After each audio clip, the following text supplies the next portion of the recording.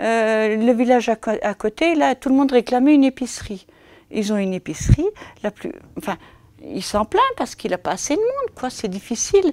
Alors tout le monde dit, ben si on avait euh, une épicerie, si on avait, euh, si on avait, oh, un coiffeur, on irait. Mais non, ils viennent pas forcément.